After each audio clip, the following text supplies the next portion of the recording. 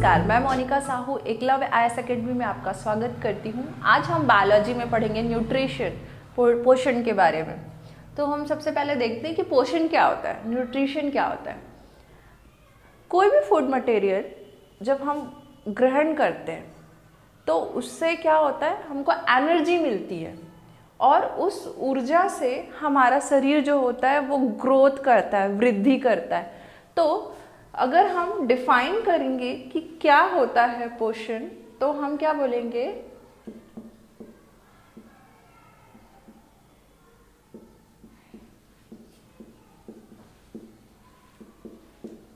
जीवधारियों की वह अनिवार्य जैविक क्रिया, जिसमें जीव बाह्य वातावरण से भोजन ग्रहण करते हैं, उनसे ऊर्जा प्राप्त करते हैं और वृद्धि करते हैं। यह पोषण कहलाता है। और जिस पदार्थ को हम भोजन के रूप में ग्रहण करते हैं, वो पोषक अर्थात न्यूट्रेंट कहलाता है। तो प्रत्येक जीव को भोजन की ज़रूरत होती है, ऊर्जा प्राप्त करने के लिए, वृद्धि, विकास करने के लिए ज़रूरत होती है। तो सब में अलग अलग प्रकार का पोषण पाया जाता है। कुछ ऐसे होते हैं जो अपने लिए भोजन खुद बना के अपने लिए स्वयं पोषण प्राप्त कर लेते हैं और कुछ ऐसे होते हैं जो दूसरों से पोषण प्राप्त करते हैं, दूसरों से अपने लिए भोजन प्राप्त करते हैं। तो हम यही देखते हैं कि पोषण जो होते हैं, वो दो प्रकार के होते हैं। उनके टाइप्स जो होते हैं, वो टू टाइप्स के होते हैं। जो फ़र्स्ट है, वो आएगा आपका autotrophic nutrition and then second पढ़ेंगे हम हेट्रोट्रॉपिक न्यूट्रिशन ये टू टाइप्स के आपके न्यूट्रिशन होते हैं. तो हम सबसे पहले समझते हैं स्व पोषण के बारे में. जैसे कि इसको, इसके नाम से ही पता चलता ऑटोट्रॉपिक ऑटो मीन्स होता है स्व और ट्रोफस मीन्स होता है भोजन. अर्थात जो अपने भोजन का निर्माण स्वयं करते हैं, वो क्या है? स्वपोषी. अर्थात ये क्या है? स्वपोषण ऑटोट्रॉपिक तो अगर हम इसको डिफाइन करेंगे तो क्या करेंगे? वह पोषण जिसमें जीव अपने भोजन का निर्माण या संश्लेषण, सिंथेसिस स्वयं करता है, स्वपोषण कहलाता है। अब हम स्वपोषण को देखें तो जो स्वपोषण होता है, वो दो प्रकार के होते हैं। अर्थात एक प्रकाश संश्लेषी होंगे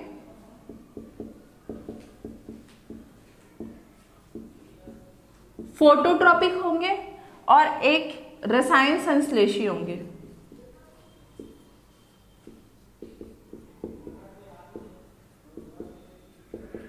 प्रकाश संश्लेषी, जैसे कि नाम से पता चल रहा है, ऐसे जीव जो फोटोसिंथेसिस की क्रिया के द्वारा अपना भोजन बनाते हैं, वो फ़ोटो सिंथेटिक होते हैं, अर्थात प्रकाश संश्लेषी जीव होते हैं। इनमें क्या होता है ना लाइक पेड़ पौधे जो होते हैं, इनमें क्या पाया जाता है? क्लोरोफिल पाया जाता है। ये सूर्य प्रकाश से ऊर्जा प्राप्त करते और जड़ के थ्रू जल ग्रहण करते हैं, वातावरण के थ्रू कार्बन डाइऑक्साइड ग्रहण करते हैं, और क्या करते हैं? अपने लिए भोजन बनाते हैं। ग्लूकोज का निर्माण करते हैं।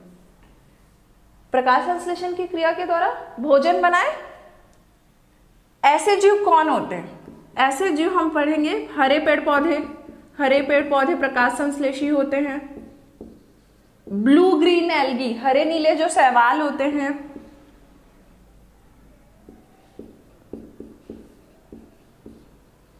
वो प्रकाश संश्लेषी जीव होते हैं।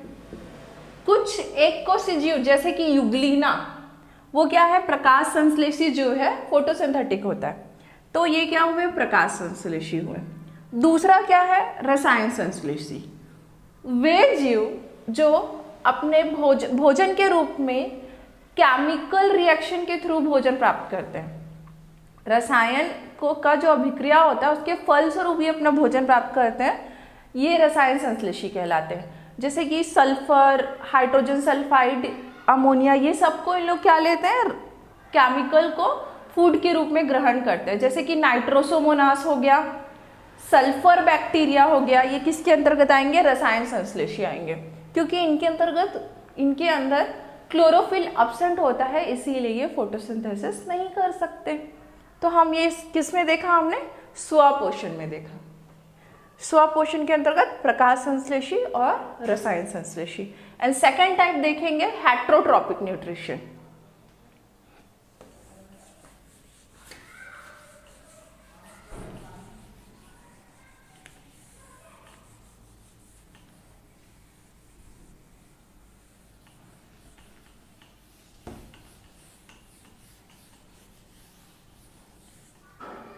हेट्रोट्रॉपिक न्यूट्रिशन जैसे कि नाम से ही पता चल रहा है हेट्रो मीन्स होता है विभिन्न, और ट्रॉफस मीन्स होता है भोजन।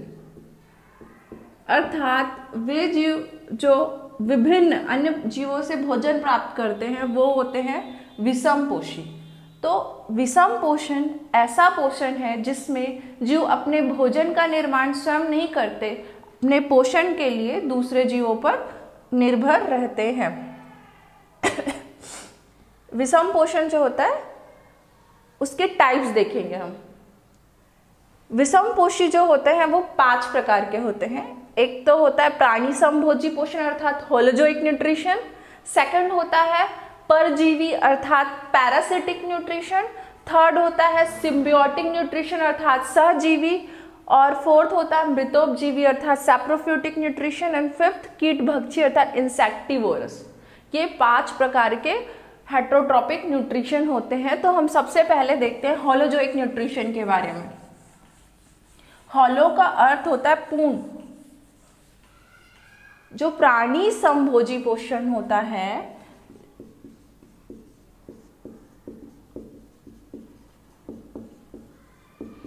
इसमें जो जीव होते हैं, वो भोजन को ठोस रूप में ग्रहण करते हैं, निगलते हैं।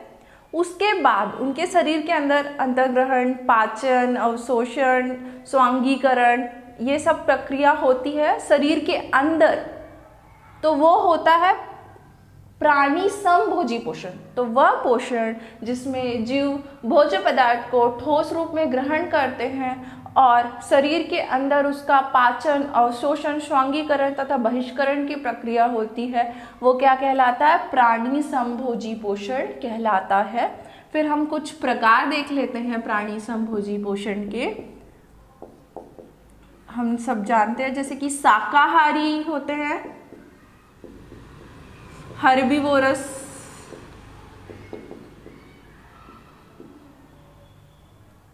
मांसाहारी होते हैं।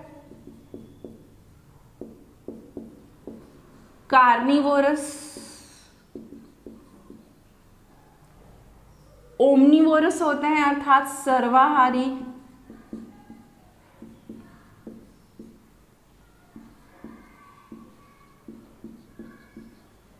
तो देखिए, जो शाकाहारी होते हैं, जो शाकाहारी जो होते हैं, वो क्या करते हैं? वो पोषण के रूप में पेड़ पौधों के भाग को ग्रहण करते हैं। मतलब भोजन के रूप में पेड़ पौधों के भाग को ग्रहण करते हैं, शाकाहारी कहलाते हैं। हर्ब्स खाते हो? ठीक है तो इसके अंतर्गत क्या क्या देख लेंगे? कौन कौन होते हैं? शाकाहारी, गाय हो गया, बकरी हो गया, भेड़ हो गए हाथी, घोड़ा, ये सब शाकाहारी जीव है। अब हम मांसाहारी में देखते हैं। वे जीव जो भोजन के रूप में जंतुओं के मांस को ग्रहण करते हैं, वो क्या कहलाता है? मांसाहारी, कार्निवोरस कहलाते हैं। इसके अंतर्गत बाघ, चीता, शेर, हाइड्रा अमीबा, ये सब किसके अंतर्गत आ जाएँगे? मांसाहारी के अंतर्गत आ जाएँगे। फिर सर्वाहारी, वे जीव जो भोजन के रूप में हरे पेड़ पौधों के भाग एवं मांस दोनों को ग्रहण करते हैं, वो क्या होते हैं? सर्वाहारी होते हैं। सर्वाहारी के अंतर्गत हम क्या देखेंगे? मनुष्य हो गया। कुत्ता, तिलचट्टा, ये सर्वाहारी के अंतर्गत आते हैं। कुछ प्रिडेटर होते हैं, अर्थात परभक्षी, जो दूसरे जीवों को खाते हैं लाइक टाइगर है ना? कुछ अपमार्जक होते हैं, वो भी दूसरे जीवों को खाते हैं, जैसे गिद्ध। ठीक है तो ये प्राणी समभोजी पोषण के अंतर्गत आते हैं। अर्थात ठोस रूप में ग्रहण करते हैं, फिर तत्पश्चात उनका शरीर के अंदर पाचन होता है, ऐसे जो जीव होते हैं वो प्राणी संभोजी पोषण के होते हैं। एक हम बात देखेंगे कि क्या होता है कि जो स्वपोषण होता है ऑटोट्रॉपिक न्यूट्रिशन होता है, उसमें जो जीव होते हैं, वो जब भोजन को ग्रहण करते हैं ना, या जो स्वपोषी पोषण के जो होते हैं, वो क्या करते हैं, सरल कार्बनिक पदार्थों को जटिल कार्बनिक पदार्थ बदलते हैं। जैसे कि हमने देखा फोटोसिंथेसिस जो होता है उसमें कार्बन डाइऑक्साइड और जो वाटर होता है, वो आपस में क्रिया करके क्या बनाते हैं? ग्लूकोज बनाते हैं। तो मतलब सरल अणु से जटिल अणु बने तो ये होते हैं क्या? स्वपोषी। और जो विषम पोषी होते हैं ना, वो जटिल अणु को, जो कॉम्प्लेक्स मॉलिक्यूल होता है, उसको सिंपल मॉलिक्यूल में कन्वर्ट करते हैं।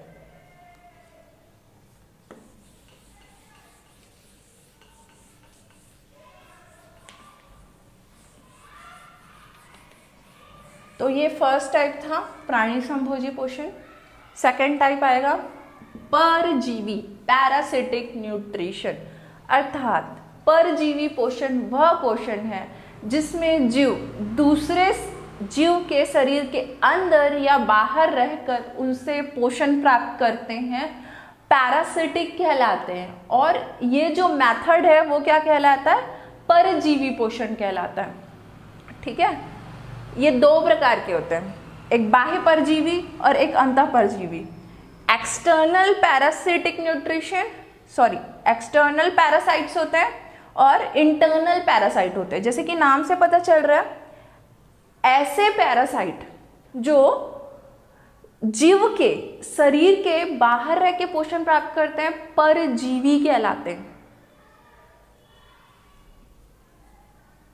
जिस से पोषण प्राप्त करेंगे, जिस जीव के से पोषण प्राप्त करेंगे, वो पोषक कहलाता है होस्ट कहलाता है, ठीक? बाह्य परजीवी जो शरीर के बाहर रह के पोषण प्राप्त कर रहा है, जैसे कि जू हो गया, खटमल हो गया, ये सब जोक हो गए, ये सब क्या होते हैं? शरीर के बाहर रहते हैं और अपना भोजन प्राप्त करते हैं। वैसी अमरबेल अमरबेल जो कस्कूटा जो प्लांट होता है उसमें क्या होता है? जो दूसरे जो प्लांट होते हैं ना, उसमें ये फैले हुए होते हैं। दूसरे जो पौधे होते हैं, उसके जो तने होते हैं, उसमें ये फैले हुए होते हैं। इसके प्रचुष्टांक होते हैं हिस्टोरियल होते हैं, जिसके थ्रू ये इस इस पौधे से भोजन प्राप्त कर रहे होते हैं। ये होता है अमर बेल।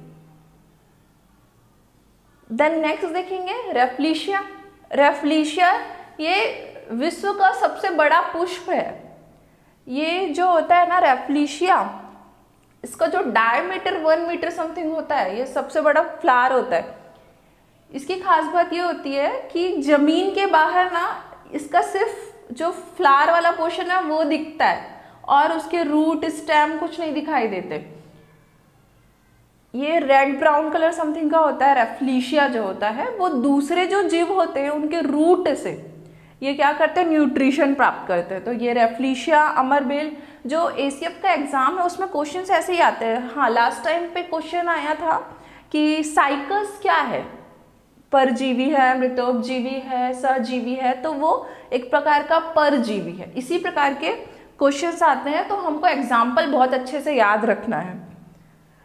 देन नेक्स्ट देखते हैं अंत परजीवी अंत परजीवी ऐसे जीव जो दूसरे जीव, जो होस्ट होते हैं, उसके शरीर के अंदर रह के उनसे पोषण प्राप्त करते हैं, वो अंत परजीवी कहलाते हैं।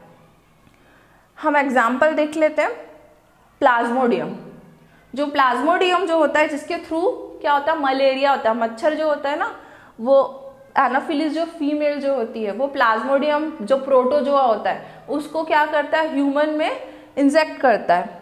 और इससे मलेरिया होता है। तो ये क्या है, ये एक टाइप का पैरासाइट है, जो जिसका पहला होस्ट कौन है, मानव है, दूसरा होस्ट मच्छर होता है। ठीक? प्लाज्मोडियम उसका एग्ज़ाम्पल है। टैपवॉर्म जो होता है ना, कुछ ब्राउन कलर के होते हैं, जो टैपवॉर्म जो होते हैं, वो हाँ ये जो होता है ना टैपवॉर्म जो होते हैं ये सुअर में पाया जाता है। और अगर मनुष्य अधपक्का सुअर खा ले तो टैप वॉर्म उसके अंदर चला जाता है। तो वो पैरासाइट ही है, वो डिपेंड कर रहा है दूसरे पे। वैसे एंटमीबा एस्केरिस ये सब किसके अंतर्गत आएँगे? इंटरनल पैरासाइट के अंतर्गत आएँगे। जो पैरासाइट होता है, इसमें एक को नुकसान होता है और दूसरे को लाभ होता है। ठीक है? नेक्स्ट हम देखते हैं सहजीवी पोषण। सहजीवी पोषण, जैसे कि इसमें भी नाम से ही पता चल रहा है, जब दो जीव साथ में जीवन व्यापन करते हैं तो इस प्रकार का पोषण क्या कहलाता है? सहजीवी पोषण कहलाता है। इसके एग्ज़ाम्पल लाइकेन राइजोबियम स्टीरिया कोलाई तो हम थोड़ा एग्ज़ाम्पल को समझते हैं। सहजीवी, अर्थात दो जीव साथ में रह रहे और साथ में भोजन प्राप्त कर रहे एक दूसरे से। तो जो सहजीवी हम अगर सबसे पहले राइजोबियम को समझे। ये जो राइजोबियम एक बैक्टीरिया है, जो लेग्यूमिनस प्लांट होते हैं लाइक मटर और चना, इन सब में पाए जाते हैं। ये सब लेग्यूमिनस होते हैं। अब ये, मान लो ये मटर का पौधा है, इसकी जड़ों में पाया जाता है क्या? राइजोबियम नामक बैक्टीरिया। अब ये राइजोबियम बैक्टीरिया क्या करता है? जो एनवायरमेंट में जो नाइट्रोजन होता है, उसको क्या करता है? ग्रहण करता है और उसका फिक्सेशन करता है, स्थिरीकरण करता है। ठीक? और ये राइजोबियम इस पौधे को क्या देगा? नाइट्रोजन देगा। ये पौधा इसको क्या देगा? भोजन देगा, अर्थात पोषण देगा। तो ये एक दूसरे पर निर्भर है। राइजोबियम इस पौधे पर भोजन के लिए निर्भर है तो भोजन इस राइजोबियम पर नाइट्रोजन के लिए निर्भर है। इस तरीके से ये एक दूसरे के लिए क्या हुए? सिम्बॉटिक हुए, सहजीवी हुए, एक दूसरे पर निर्भर हुए। तो ये है राइजोबियम, जो कि सहजीवी का एक एग्ज़ाम्पल है। वैसी लाइकेन जो होता है, लाइकेन जो होता है ना वो कुछ, जैसे ये पेड़ है, उसके जो शाखाएँ होती है, उसमें कुछ इस तरीके से ऐसे ग्रीन ग्रीन कलर का ऐसे दिखाई देता है, लाइकेन जो होता है। लाइकेन जो होता है ना, वो एल्गी और फंजाई दोनों से मिलकर बना होता है, अर्थात कवक, अर्थात फंगस होता है, और सहवाल का मतलब होता है एल्गी। जो ग्रीन कलर के जो दिखाई देते हैं, हम लोग जो साधारण शब्दों में जो काई बोलते हैं, वो होता है एल्गी सवाल और जो फंगस, जो जूते या जो ब्रेड होते हैं, उसमें एक लेयर लगता है, वो है फंगस। तो इन दोनों का मिश्रण क्या होता है? लाइकेन होता है। लाइकेन जो होता है, ये दोनों होते हैं उसमें। अब ये जो सवाल होता है, चूँकि ग्रीन कलर का होता है, इसमें क्लोरोफिल प्रेजेंट होता है, फोटोसिंथेसिस की क्रिया करता है, और ये भोजन देता है। ठीक? और जो कवक होता है, ये क्या करता है? कवक जो होता है, वो उसको नमी प्रदान करता है। इस तरीके से ये एक दूसरे पर निर्भर होते हैं। नेक्स्ट एग्ज़ाम्पल स्टीरिया कोलाई के बारे में देखते हैं। जो स्टीरिया कोलाई होता है, वो हम जानते हैं कि जो मनुष्य होता है, उसमें जो लार्ज इंटेस्टाइन होते हैं, उसमें जो कोलॉन होता है, उसमें प्रेजेंट होता है स्टीरिया कोलाई अब ये चीरिया कोलाई से हमको क्या मिलता है? उसको तो मिल गया न्यूट्रिशन उसको मिलता है, वो विटामिन के का न्यूट्रिशन करता है मतलब सॉरी सिंथेसिस करता है, जो मनुष्य के लिए हेल्प करता है. तो ये क्या हो गया? सहजीवी, जिसके एग्ज़ाम्पल हमको याद करना है लाइकेन राइजोबियम स्टीरिया कोलाई ये सिम्बियोटिक न्यूट्रिशन करते हैं. देन नेक्स्ट आते हैं मृतोपजीवी, नाम से ही पता चल रहा है. जो क्या करते हैं? सड़े गले मृत पदार्थों को खाते हैं। वो क्या है? मृतोपजीवी। अर्थात वह पोषण जिसमें जीव सड़े गले भोज, सड़े गले भोज्य पदार्थों से अपना पोषण प्राप्त करते हैं, मृतोपजीवी कहलाते हैं। और इस प्रकार का जो पोषण है, वो मृतोपजीवी पोषण कहलाता है। इसमें क्या होता है? ये एक स्पेशल टाइप का एंजाइम सिक्रिएट करते हैं, जिससे डिग्रेट हो जाते हैं, वो विघटन हो जाता है, वो भोजन का। ये होता है मृतोपजीवी। अब उसके एग्ज़ाम्पल में हम देख लेते हैं। फंगस फंगस इसका एग्ज़ाम्पल है। सेप्रोफिटिक न्यूट्रिशन का, इसके अंतर्गत हमको राइजोपी राइजोपस अगैरिकस जो कुकुरमुत्ता जो होता है ना, कुछ इस टाइप का मशरूम जो होता है, कुछ इस टाइप का, ये होते हैं अगैरिकस राइजोपस म्यूकर ये क्या है? सेप्रोफिट ये हुए मृतोपजीवी। लास्ट कीट भक्षी पोषण। जो इंसेक्टिवोरस होते हैं, इनके भी नाम से पता चल रहा है, ये क्या खाते होंगे? कीट खाते होंगे। क्यों खाते हैं? एक्चुअल में क्या होता है, ऐसे जो पौधे होते हैं, वो दलदली स्थानों में पाए जाते हैं और वहाँ पे प्रकाश संश्लेषण की क्रिया के द्वारा भोजन तो बना लेते हैं वो, लेकिन जो नाइट्रोजन की कमी को वो पूर्ति नहीं कर पाते, तब वो क्या करते हैं? कीटों का भक्षण करके नाइट्रोजन प्राप्त करते हैं।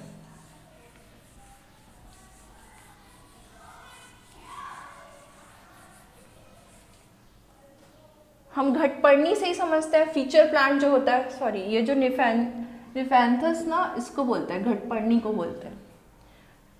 ये कुछ कलश पादप, जैसे ऐसे बोलेंगे, कुछ इस तरीके का स्ट्रक्चर होता है, और इसके ऊपर ऐसे एक पत्ती जैसी संरचना होती है, कुछ ऐसे।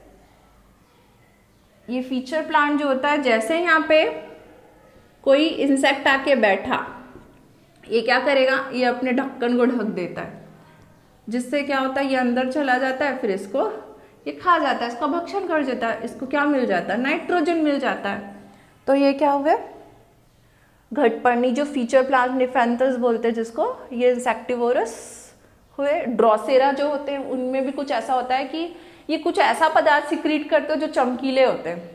अब उससे क्या होता है, जो कीट जो होते हैं, वो अट्रैक्ट हो जाते हैं, बैठ जाते हैं, फिर क्या करता है, चिप, जैसे चिपकता है, वो उसको अंदर ले लेता है। बिल्कुल वैसी जो डायोनिया होता है ना, इसमें भी कांटेदार होते हैं। उसका जो एक भाग होता है, वो कांटेदार होता है, जिसमें जैसे ही इंसेक्ट बैठते हैं, वो उसको क्लोज कर देता है और उसको खा जाता है, जिससे उनको नाइट्रोजन मिल जाता है। तो ये सब एग्ज़ाम्पल है, घटपर्णी, drosera, Dionaea, utricularia bladderwort होते हैं ये। तो ये सारे क्या है? इंसेक्टिवोरस के एग्ज़ाम्पल है। तो हमने क्या देखा पोषण में? पोषण की परिभाषा देखी, पोषण के दो प्रकार होते हैं स्वपोषण और विषम पोषण विषम पोषण में हमने देखा कि ये पाँच प्रकार प्राणी संभोजी पोषण परजीवी सहजीवी मृतोपजीवी और कीट भक्षी पोषण देखा। हम देखेंगे एक कोशिकी जीवों में पाचन और बहुकोशिकी जीवों में पाचन। तो सबसे पहले थोड़ा सा समझ लेते हैं कि एक कोशी जीव और बहुकोशी जीव क्या होता है। जो कोशिका होती है ऐसे जीव जो केवल और केवल एक कोशिका से मिलकर बने होंगे, जैसे कि अमीबा, पैरामीशियम, ये क्या होता है? एक कोशिकी, अर्थात यूनिसेलुलर ऑर्गेनिज्म होते हैं। और बहुकोशिकी मल्टी सेलुलर ऐसे जीव जो बहुत सारे कोशिकाओं से मिलकर बना होता है, वो क्या है? बहुकोशिकी जीव, अर्थात मल्टी सेलुलर ऑर्गेनिज्म जितने भी हरे पेड़ पौधे होते हैं, जंतु होते हैं, टिड्डा तिल चट्टा ये सभी किसमें आएँगे? बहुकोशिकी जीव में आएँगे। तो हम देखते हैं एक कोशिकी जीव अमीबा में पाचन। जो अमीबा जो होता है ना, वो होलोजेट न्यूट्रिशन करता है। अभी हमने इसका एग्ज़ाम्पल भी देखा। अर्थात ठोस रूप में ग्रहण करने के बाद उसका शरीर में पाचन अवशोषण स्वांगीकरण, बहिष्करण होता है।